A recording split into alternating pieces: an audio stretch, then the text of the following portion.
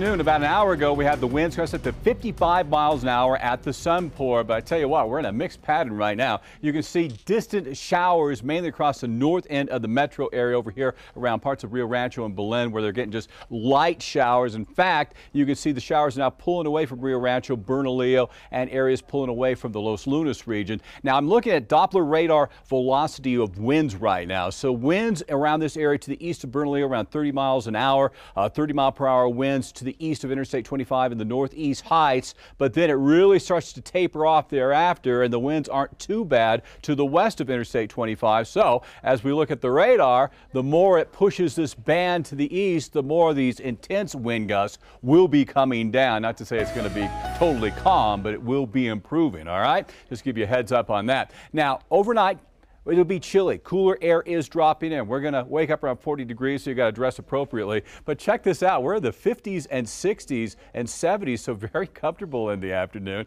Uh, showers are going to be very limited, unfortunately, across the higher terrain. We get through that, all right? It's unsettled right now, but. Uh, the price will be paid when we get into uh, this payoff time over here. Friday, 73 degrees, 80 for Cinco de Mayo with plenty of sunshine. Great for your outdoor activities. We're going to be in the mid 80s Sunday, Monday, on into Tuesday and Wednesday. And at this point, it does not look like the winds will be overly strong during this period. We'll update the radars coming up in just a bit.